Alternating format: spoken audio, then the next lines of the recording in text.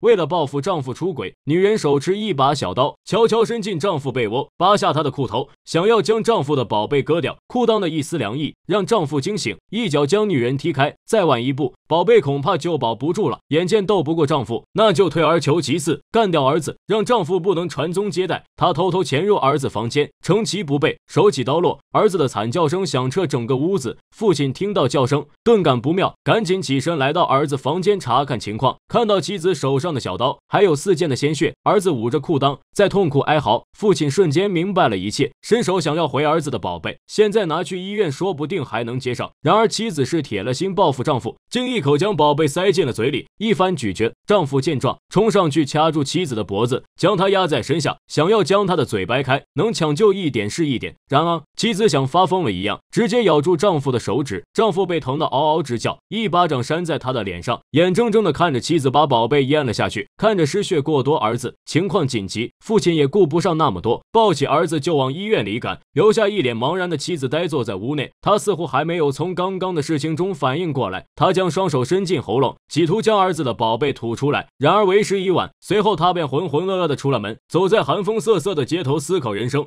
医院里满手是血的父亲在焦急等待，不久之后，儿子一瘸一拐的从抢救室内走出来，幸好来得及时，止住了血。才保住一条命，但是他从此失去了男儿身。从这之后，儿子连撒尿都对不准位置。学校里的同学也发现了这种情况，放学之后就将他堵在巷子里，几个人蜂拥而上，就要将儿子的裤子扒下来，想要一探究竟。儿子拼命挣扎，奈何对方人多势众，根本没有反抗的余地。好在父亲及时赶到，将他们赶走，这才勉强保下儿子最后的尊严。父亲看着眼前的残废儿子，心里满是愧疚，都是自己图一时之快，害了儿子一辈子，也害得自己绝了后。心灰意冷的父亲决定拿枪一了百了。然而就在这时，他在网上看到了一则移植手术的信息，原来宝贝也可以进行移植。于是他没有丝毫犹豫，来到医院，将自己的宝贝摘出，准备给。给儿子装上，可刚摘除，医生就告诉他，现在技术还是不太成熟，近亲移植有很大风险，只能慢慢等待时机。气得父亲差点就口吐芬芳，早不说晚不说，切完了才说。然而就在等待的这段时间，儿子却出事了。这几个学生简直不要太调皮，他们抓住一个男孩，当街就要将他的裤子扒下，检查他的宝贝，看他是不是真正的男人。男孩拼命挣扎，却无济于事。就在这时，几个混混正好路过，看到有人以多欺少，便果断出。出手相助，三两下就将这群小屁孩赶走。当然，混混肯定不会白白帮忙。事后便收下男孩做小弟，让他请客吃东西。当看到花枝招展的老板娘，为首的混混心动了，上来就是动手动脚。老板娘可不惯着他，一巴掌直接扇在他的脸上。这一巴掌不但没有吓退混混们，反而激起了他们的歹念。他们把老板娘拖到屋子里实施暴行。男孩试图上前阻止，可被拦在屋外，无计可施，只能眼睁睁看着混混们一个接一个进入屋内。完事之后，他们还威胁男孩也进去，男孩不敢不从。天网恢恢，疏而不漏。几天之后，警察找上门来，将他们一行四人抓到警局。男孩父亲着急忙慌赶到，向警察解释自己的儿子根本不可能做这种事，不信就扒下他裤子看看。说着就要上前。证明，结果儿子瞬间急了，一脚将父亲踹翻在地，再补上几脚。儿子打老子！一旁的三个混混也看得一脸懵，心想这小子真的狠。然而他还是没有逃脱被扒裤子的命运。警察一前一后将他牢牢控制住。当裤子被扒下的那一刻，在场的人有一个算一个，全都目瞪口呆。原来儿子根本就没有宝贝，所以根本不可能对老板娘做那事。儿子仅剩的尊严直接暴露在众人面前。一旁的混混更是笑得肆无忌惮。儿子不甘受辱，看。着一旁的混混气不打一处来，上前就是一脚，将为首的混混踹翻在地，还不解恨，又是连续朝头暴击。混混被这突如其来的暴揍感懵了，警察赶紧上前制止，再慢的怕是要出人命。儿子感觉自己以后都没脸见人了，痛哭流涕。最终，虽然儿子没有侵犯老板娘，但还是因为打人被关了三天。三天之后，儿子出狱了，他开始慢慢接受现实，和父亲过上平淡的日子。直到这天，他们在网上发现已经有宝贝移植成功的先。例，但是还是有一定的技术壁垒。儿子瞬间看到重新做回男人的希望，于是他心生一计，找到老板娘帮忙。二人盯上了刚刚被保释出狱的混混头子，看到花枝招展的老板娘，小混混便把持不住了，一路尾随，上前搭讪。见老板娘不反抗，心里简直乐开了花。两人回到家，几杯酒下肚，混混便不知东南西北，脑子还在幻想着傻事。殊不知，等待他的将是厄运。混混躺在地上，女人坐在他身上，拿出小刀对准位置。混混见情况不对，拼命挣扎，奋起反抗。一旁的儿子赶紧上前帮忙，将混混牢牢控制住。随着女人手起刀落，混混一声惨叫，他的大宝贝被直接割了下来。女人将混混的尊严丢在地上，儿子见机捡起来就往外跑。混混顾不上疼痛，挣扎着爬起来追了出去，势必要将自己的尊严夺回。没想到儿子竟然跑不过一瘸一拐的混混，两人在街头扭打起来，抢夺手上的尊严。没想到一个不小心，儿子失手将宝贝丢到了马路上，正好一辆车子驶过，两人就眼睁睁的看着宝贝被压得稀碎。混混绝望的哀嚎：这下好了，儿子移植宝贝的计划再次落空。但他依旧没有放弃重振男人雄风的机会。这天，他在网上看到一家医院能成功让近亲移植宝贝，这让父子二人一下子看到了希望。要不说父爱如山呢？父亲看到这个机会，立马就给医院打电话，要将自己的宝贝移植给儿子。手术室内，儿子一脸淡定；手术室外的父亲却显得十分不安。还好手术最终成功，儿子终于重回男儿身。然而，最大的问题来了，儿子发现移植后，宝贝却不能正常支棱起来，那这不就是个摆设吗？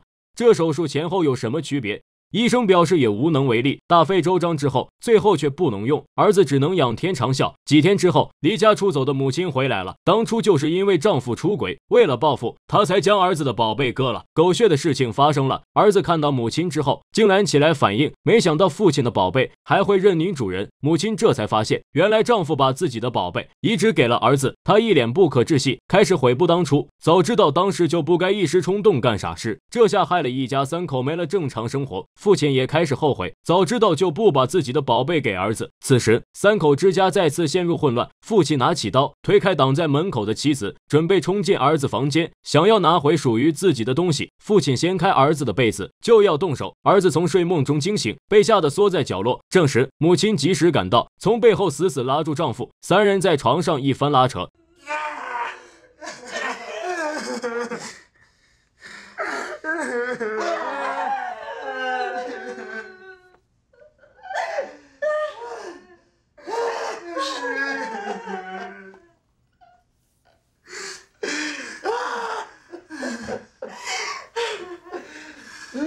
最终，三人僵持不下，竟躺在床上痛哭起来。最终，父亲决定用枪结束这段罪恶。他用枪抵住妻子的头，妻子没有任何反抗，似乎已经准备好从容赴死。随着两声枪响，儿子被惊醒，走到走廊查看，发现父母已经双双倒地，鲜血四溅。从弹道上看，都是自行了断。看到这触目惊心的一幕，儿子崩溃了，捡起地上的手枪，打算毁掉宝贝，结束这罪恶的源头。电影《莫比乌斯》全片没有一句台词，却将悲剧演绎的。出神入化，这场悲剧就像莫比乌斯环一样，一家三口环环相扣，缺一不可。然后在一次次错误中，逐渐走向死循环，将人性、能力、道德展现的淋漓尽致。